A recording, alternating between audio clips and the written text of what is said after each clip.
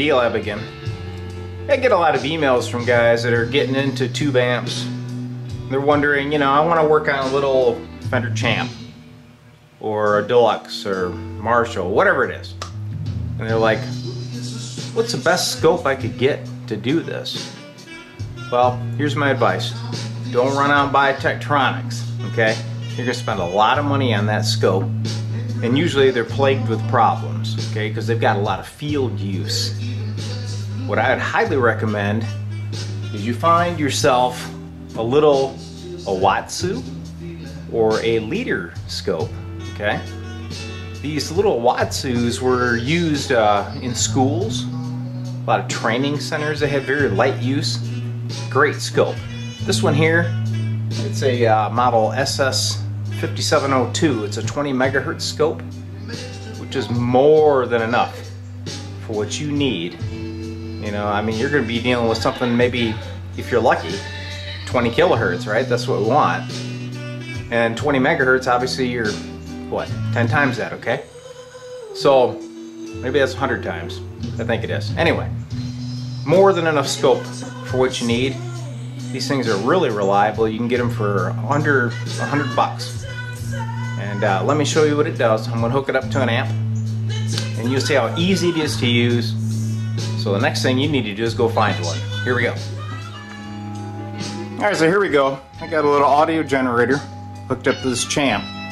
This thing came into the shop needing some repair.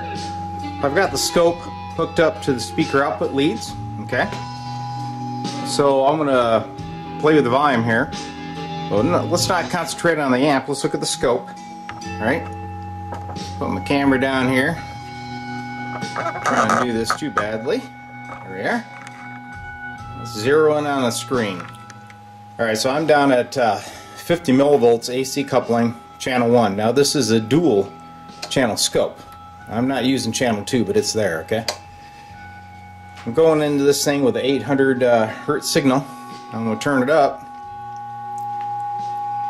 And if you look, you can see there's a lot of noise in the sine wave. Here's the bass. Look at the treble. Okay? So this amp needs some help, alright? So I'm, I'm not hitting her hard at all. And like I say, I'm at 50 millivolts per division. So we're only seeing like 150 millivolts. I'm almost at full volume, okay? So this thing needs some help, doesn't it? But you can see you got some uh, dirty controls. You see, you can see your nice sine wave. You can play with your time. You see that wavering in the sine wave? That's an indication of a bad filter cap. Like I say, this is a 20 meg scope, very basic scope, and with something like this, that's all you need to fix that champ. Alright, so as I go further into this champ repair, I will put on some more videos to show you what became of this thing. However, this video is not about the champ. This video is about you choosing the right scope to fix tube amps, okay? You ain't got to spend a lot of money, guys. Go out and find yourself a nice $100 Iwatsu or Leader.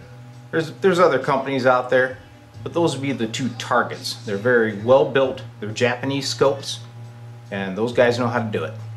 So I hope this was valuable information for you. And uh, keep tuned to D-Lab. I'll give you some more tech tips. And the best thing is, it's free. See you.